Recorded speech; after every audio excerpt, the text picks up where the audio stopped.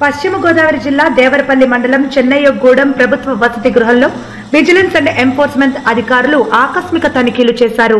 ఈ తనిఖీలో ఉండవలసిన నిల్వ కన్నా తక్కువగా ఉన్నట్లు గమనించారు. అంతేకాకుండా ఈ వసతి గృహం రికార్డులు కూడా సరిగ్గా లేవని గమనించడం జరిగింది. హాస్టల్ పరిసరాలు శుభ్రంగా లేవని మరియు బాత్రూంలు మరీ అధ్వాన్నంగా ఉన్నాయని గమనించడం జరిగింది. అంతేకాకుండా ఇక్కడున్న బాలికలచే పరిసరాలు శుభ్రం చేస్తున్నారని ఇక్కడున్న పనులన్నీ ఇక్కడున్న హాస్టల్ బాలికలచే చేయిస్తున్నారని ఇవన్నీ ఉన్నతాధికారుల దృష్టికి తీసుకెళ్తామని ఈ తనిఖీకి వచ్చిన అధికారులు తెలిపారు.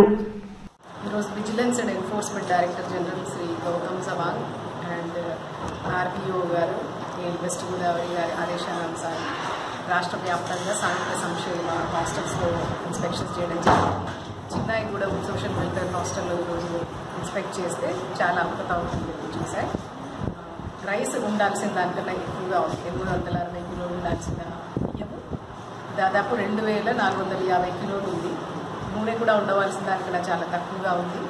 కిచెన్ అండ్ బాత్రూమ్స్ చాలా అన్హైజీనిక్గా మెయింటైన్ చేస్తున్నారు. పిల్లలతోటి బాత్రూమ్స్ కడిగించడము చాలా డర్టీగా మెయింటైన్ చేయడం గమనించాము. విఆర్ విఆర్ఓ గారి మీ రిపోర్ట్ రాయడం జరిగింది.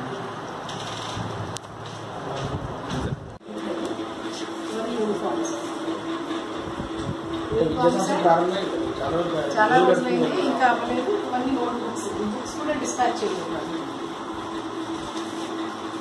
ఇవన్నీ కూడా పిల్లలకి ఇవ్వాల్సిన బుక్స్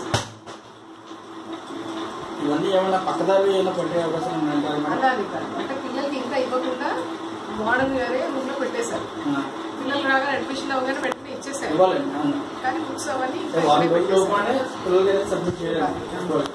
ఇలా అటెండెన్స్ రిజిస్టర్ ప్రకారం రెండు వందల యాభై చూపిస్తున్నారు. కానీ ఉన్నది మాత్రం నూట ఎనభై మంది. ఆ.